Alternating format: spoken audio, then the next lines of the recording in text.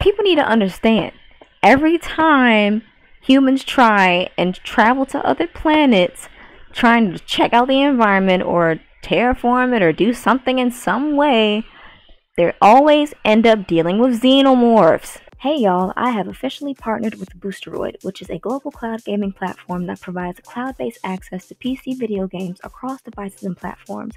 You can play a vast range of both free to play games and payment required games all in one place without having to download the games to your device. It is vital that you have good Wi Fi connection in order to have the smoothest possible experience, and you can actually check your connection on the website using the Boosteroid speed test.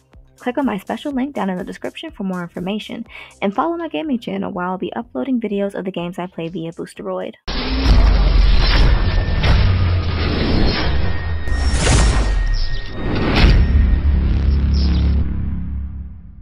Hey y'all, it's Mel the Scientist. Welcome back to another video. Today I'm going to be looking at how to terraform Venus.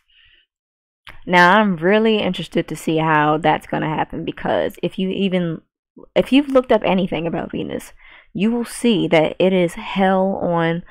Oh, I was about to say hell on Earth, but technically it's hell on Venus. oh, that's so stupid. Anyway, um, it's it, it's hell incarnate. The atmosphere is literally carbon dioxide and sulfuric acid, and the very ground is enough to melt lead. So, I want to know how we're supposed to be able to terraform Venus. I'm very interested to see. And I love Kurzgesagt. I love them dearly. They're great. And if anyone has an explanation, a logical one, it would be them. So let's check it out. Leaving Earth to find new homes in space is an old dream of humanity and will sooner or later be necessary for our survival. The planet that gets the most attention is Mars, a small, toxic, and energy-poor planet that just about seems good enough for a colony of depressed humans huddled in underground cities. But what if we think bigger? What if we take Venus, one of the most hostile and deadly places in the solar system, and turn it into a colony? Not by building lofty cloud cities, but by creating a proper second Earth. Let's it see how. Easier than you think. Is it?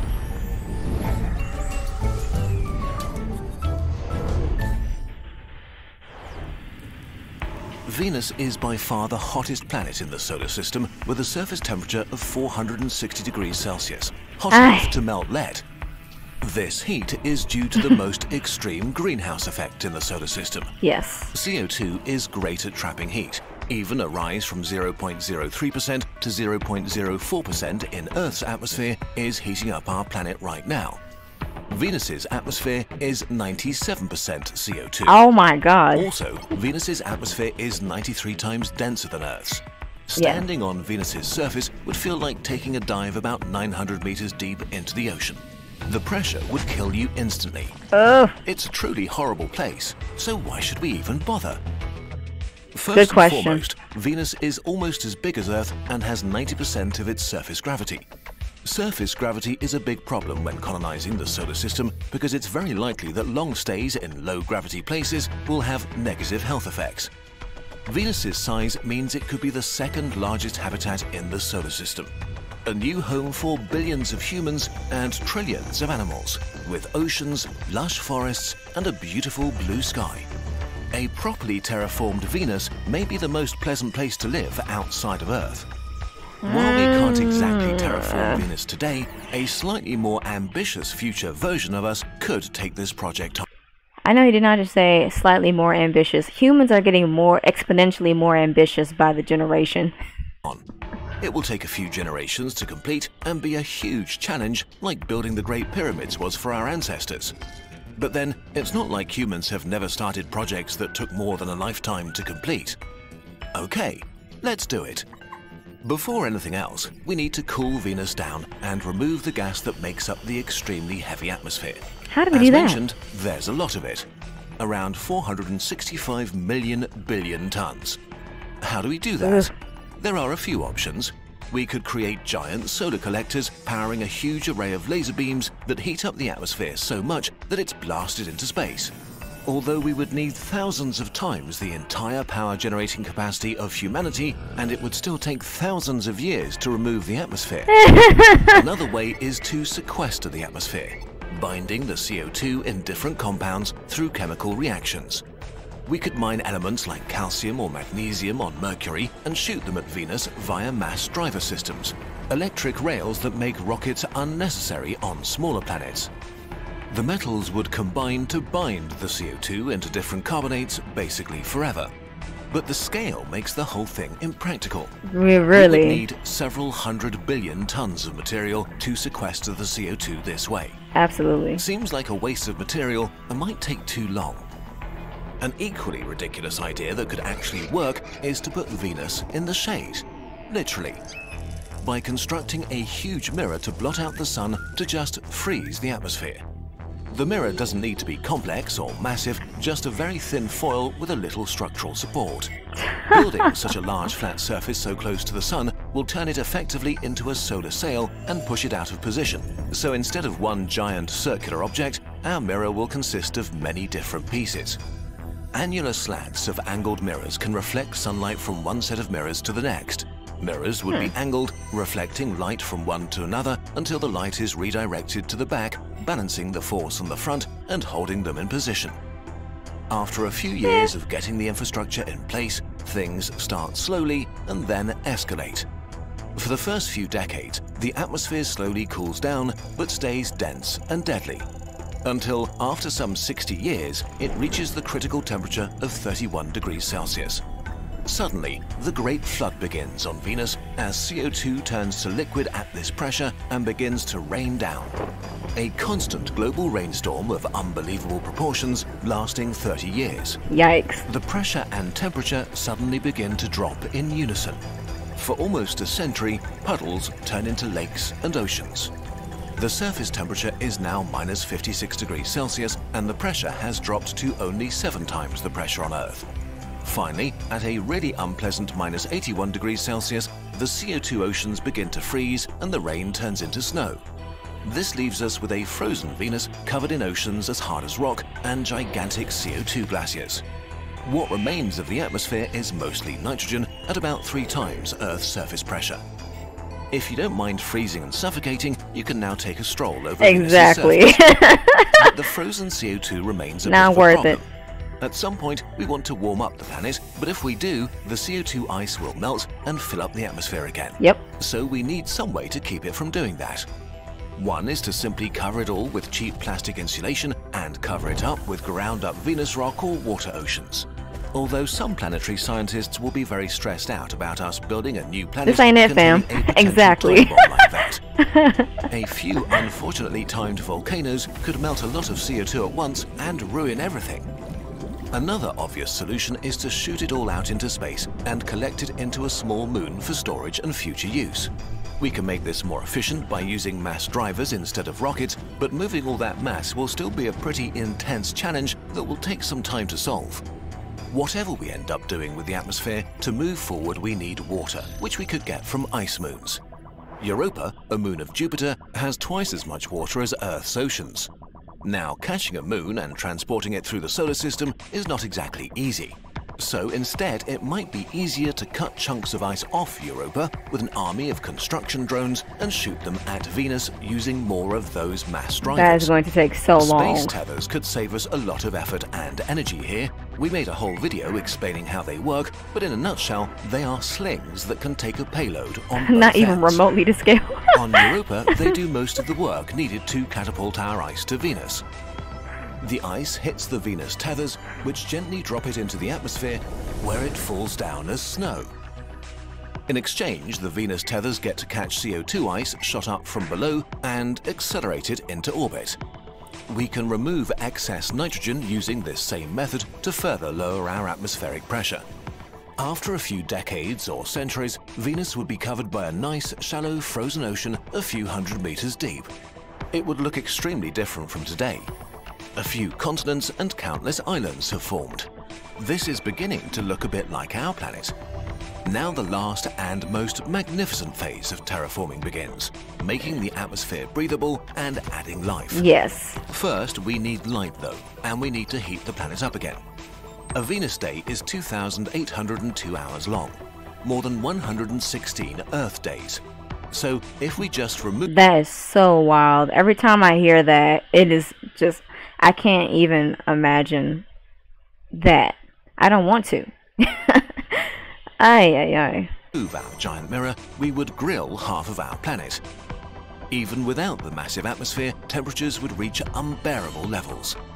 The simplest way to create a day-night cycle and let some energy in again is with another set of mirrors to illuminate our continents and melt our water oceans, which would let us completely control how much energy we get and where it goes.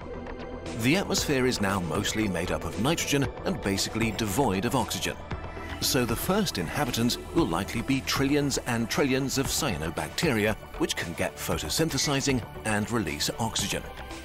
We know that they can quickly turn around the atmosphere of a planet because billions of years ago they were probably responsible for turning the toxic atmosphere of our young Earth into an atmosphere with enough oxygen for more complex animal life. But not only mm-hmm. that, cyanobacteria can fix nitrogen from the atmosphere and turn it into nutrients that can be used by living beings. This way, they will essentially fertilize our dead ocean water and prepare it for more complex organisms. On land, our colonists need to grind down some of the former Venusian surface to make soil for nitrogen-fixing plants to grow on. Eventually, billions of trees would spread, creating large forests covering massive parts of the continents. Venus would turn green. To speed things up, CO2 would be strategically released to supply the plants and cyanobacteria. Areas already covered with plants could get extra daylight from our orbital mirrors, so the plants would be active for most of each day. Maybe we won't have to do this with the same plants and animals we know today. As genetic engineering matures and our understanding of genetics and the machinery of life expands, we might just engineer life as we need it. All in all, it would take That's a dangerous thousand years statement. to make the atmosphere breathable by humans. In the meantime, you could stroll around with nothing more than regular clothes and an oxygen mask. Settlers would enjoy a vast new planet filled with resources and bathed in sunlight. They might think of new ways to use the vast amounts of carbon dioxide ice and nitrogen orbiting in space above. Industrial processes, rocket fuel, or even boosting the terraforming of another planet like tiny Mars. Venus is fully terraformed. Animals roam through vast ecosystems. Cities are being constructed. Billions of settlers and their descendants make this world their home. They will see images of the past, how Venus was once the most hostile planet around, how it took hundreds of years to freeze hell and to ship in the oceans, and another few thousand years to make it possible to breathe freely. They will barely be able to believe it. Okay, maybe it's not that easy to terraform Venus, and a lot of things must go right for this future to become reality. Yes. But it is possible, and with technology that is within the reach of a motivated and slightly more advanced humanity that wants to venture into space. The only thing that's Slightly stopping it is our imagination, and that at least is a problem that's easy to overcome. Yeah, even after having all this information, I still do not think it is worth it, and I sincerely hope humanity does not become that delusional and that bold to try and terraform other planets. I think they just need to focus on getting this planet that we already have right and stop disrespecting it. Simple as that. Sure, hypothetically, this could happen, but why would you? I mean, Venus is just not the one. It's not the one. It's too much work. There'd be absolutely no need to even attempt terraforming Venus. For what for what purpose? There's no reason. like treat Earth right. Be better. She deserves better. Also, like I don't know why people don't understand. I watch a lot of movies, right? People don't understand every time you try and go to different planets, exoplanet. Well, exoplanets are not. People need to understand.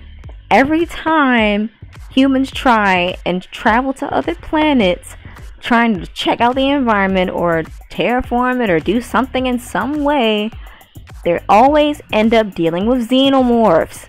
Xenomorphs are always everywhere, causing trouble, man. Like, people don't understand this. like, I don't get it. You will come across these types of creatures if you go on these expeditions. Doesn't anyone watch any movies? Goodness gracious. Like, you. Come on now. educate yourselves. You're going to come across some freaking thing of nature like that every time. It never works out. Stay on Earth. That's where we're supposed to be. ay, ay, ay. On that note, thank you so much for watching. Let me know what you thought about this video, what you currently think about it, if you truly think it's possible to happen, if you want this kind of thing to happen. Um, I have no opinion, even though I kind of fully just expressed it. I, I, I'm saying I have no opinion because, like, I'm not even thinking about doing this, so I just don't even have an opinion that to even, like, contribute to a conversation about this because I'm just thinking about other stuff. um, but if it's that important to you, let me know in the comments. And, uh, yeah. So, if you like the video, please be sure to like, share, and subscribe to the channel. I also have my gaming channel, Mel the Gamer, where I play a lot of mostly horror games because I'm an October baby and I live for horror games and movies and most of them are Alien franchise games, so they're super scary. But I also have some other stuff on the docket to play as well, so go ahead and check that out. I also do have a Patreon. I have my first videos on it already, so you can go ahead and check that out. I'll put that link in the description. It's pretty much just going to be me doing like games and puzzles and st stuff that uh, would kind of mess up my algorithm on YouTube. So I'll just put those videos on Patreon and you'll hear me singing like to Disney songs, finishing the lyric guessing the logo, having fun with that, or going crazy over something that just got on my nerves. All of that is on there. There'll be more videos too. So go ahead and check that out. Thank you so much for watching and I will see you in the next video. Peace.